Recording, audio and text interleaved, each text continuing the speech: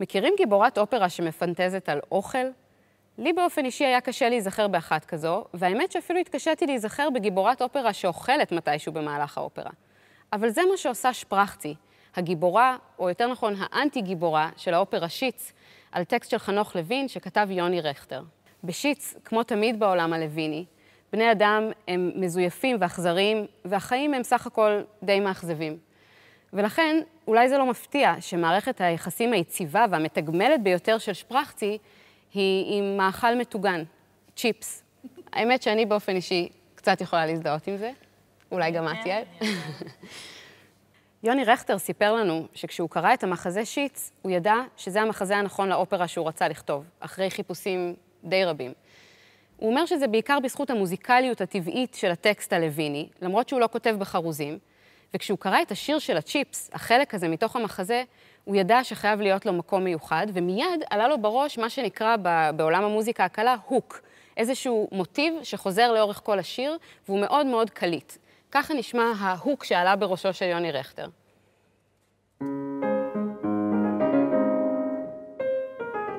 המוטיב הזה יחזור לאורך כל השיר. יוני רכטר מספר גם שכשהוא קרא את הטקסט, הוא הבין שהוא חייב לתת איזשהו ביטוי מוזיקלי להקבלה הטקסטואלית שחנוך לוין עושה בין המילה צ'יפס למילה גרפס.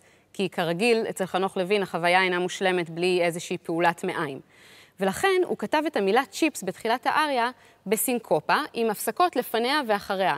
זה יוצר תחושה כאילו שהמילה יוצאת מהפה של הזמרת כמעט בלי שליטה. בואו נשמע את זה.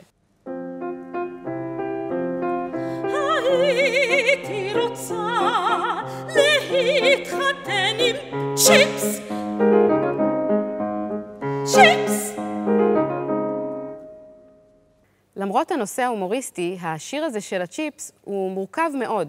קודם כל מבחינה ריתמית. המשקל הבסיסי שלנו הוא חמש מיניות. זה משקל אסימטרי.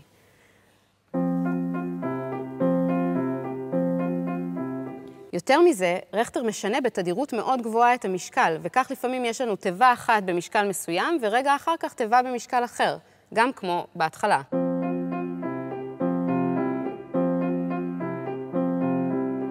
זה יוצר איזושהי תחושה של אי נחת ריתמית. גם מבחינה הרמונית השיר הזה מורכב מאוד, ויש לנו מעברים תכופים בין סולמות ומודולציות מאוד מאוד מפתיעות שלוקחות אותנו מטונליות אחת לטונליות אחרת.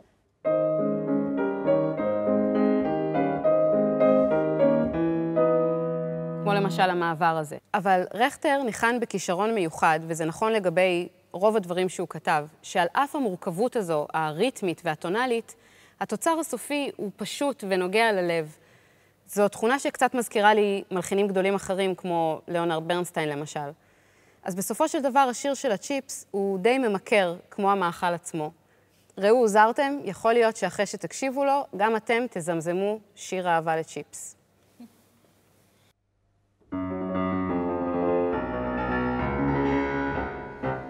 וכעת אספר לך על אחת החולשות שלי.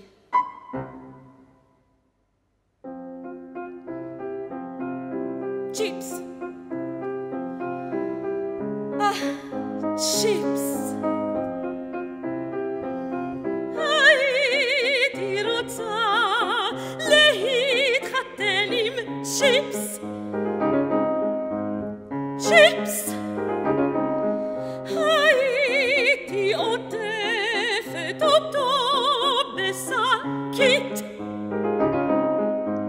צ'יפס!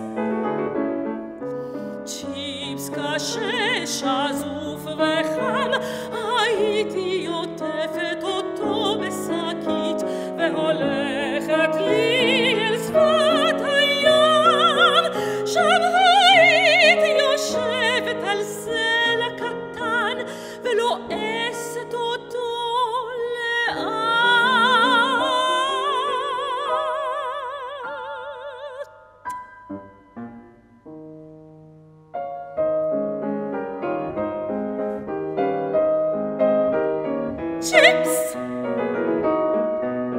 chips.